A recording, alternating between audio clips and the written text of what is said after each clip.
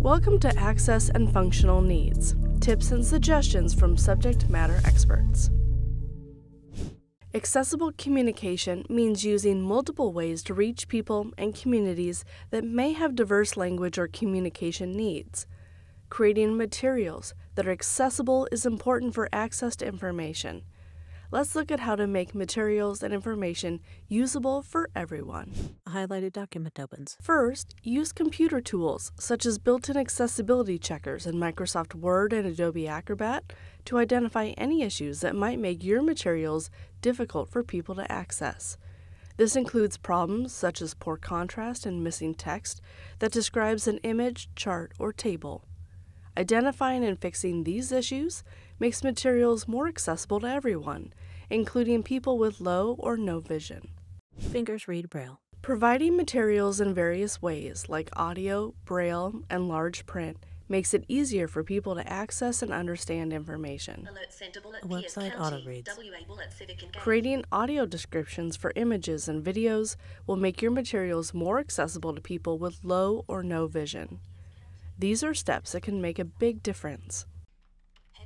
Also consider providing text-to-speech options for online documents. This will make it accessible for everyone to access and understand your materials. It is also helpful to provide transcripts of an audio recording for people to read. A woman signs as a man at a podium speaks. American Sign Language interpretation can be crucial for people who are deaf or hard of hearing. By providing an American Sign Language ASL interpreter, like we've done in this video, or during meetings, you help people who are deaf or hard of hearing have access to the information. A man, Dr. Chen, speaks. Do they need to be tested in their medical? Captioning videos and presentations is a must for people who are deaf or hard of hearing, or for people who turn this function on during online meetings. It provides access to your information. This can be done by providing captions or subtitles for videos. It can also be helpful for people who speak English as a second language and may benefit from reading along with the spoken words. In public spaces with televisions and videos playing, make sure the captions are turned on at all times. Multiple translations are shown. Providing materials in multiple languages used in the region is essential for people with non English language skills or English as a second language. This is done by translating content into different languages and providing an option to switch between languages on a website. Content is offered in many languages. Working with trusted community partners is also a way to get messages out to people who may not have access to traditional means of communication. But what is a trusted community partner? A trusted community partner is a community leader who has ties to non-English speaking communities and or they represent communities with communication disabilities. These trusted community partners can become force multipliers for communication and can provide guidance on the best strategies to reach their community. Three images appear. Pictographs can make it easier for people with non-English language skills to get and use information. These pictures can show what is being talked about and illustrate instructions. This is an important complement or an alternative to relying on only spoken or written instructions. Before providing assistance, always ask, How can I help? Do not assume that a person with a disability needs assistance. Ask before acting. When offering help, wait until the offer is accepted, then ask for instructions. Respect the person's right to indicate the kind of help they need. Many people do not need assistance, so don't be offended if your help is not accepted. Insisting on helping takes control away from that person. This also applies to offering help with carrying items. A man with a cane walks down a hallway. Now that we've learned about accessible communication, let's talk about accessible spaces. There are many ways that an accessible space can still be inaccessible to people with access and functional needs. The man navigates an office space. What are access barriers? Access barriers are environmental, service, or physical obstacles that prevent people with access and functional needs from participating in and receiving or benefiting from services and resources available to everyone else. What are access and functional needs?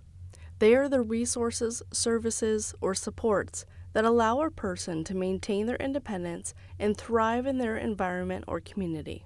Individuals with access and functional needs include, but are not limited to, individuals who use American Sign Language, who rely on public transportation, have non English language skills, who are blind or have low vision, use service animals, reading, learning, remembering, and mobility disabilities, people in late stage pregnancy, and unsheltered individuals. Smiling, he enters a braille labeled room. Here are some ways to reduce or remove access barriers. Service and directional signage includes creating and using large, clearly visible print signage with icons and pictures. Signage should be placed in clear view to indicate the location of the accessible parking spaces, entrances and exits. Directions to restrooms with accessible stalls should be provided, as well as the location of accessible drinking fountains. Exits should be clearly marked and easy to access in case of an emergency. Now let's go over some shelter accessibility suggestions. Avoid cot chaos. Cots are clustered. Cots or equipment blocking pathways can restrict the mobility of individuals using mobility devices such as wheelchairs. Aisle widths should be maintained at least 36 inches. Power cords and cables running across the floor create tripping and wheeling hazards. Accommodations should be made for individuals with service animals, such as providing a designated animal relief area with signage, and make sure there's room for a bed for the animal. Overall, making an area accessible is about ensuring that everyone can use spaces and resources. Reducing and removing access barriers is important because it allows people with disabilities to have access to the same facilities and services as everyone else. Additionally, removing access barriers can improve safety for everyone. Thank you for watching this video on access and functional needs. We hope it's been helpful. For more information, please visit our website. PierceCountyWA.gov forward slash access hyphen and hyphen functional hyphen needs hyphen program. Project lead Ivan Tudela, Access and Functional Needs Coordinator, Pierce County Department of Emergency Management. Project Advisor June Isaacson Kailes, Disability Consultant. Content Creation Workgroup Jim House, Disability Integration Manager, Coalition on Inclusive Emergency Planning. Amin, Tony Hester, and Todd Holloway, Center for Independence. Dean Sidnor, Rare Coordinator, Mobility Management. And Asha Potts, ADA Eligibility Assistant Manager, Pierce Transit.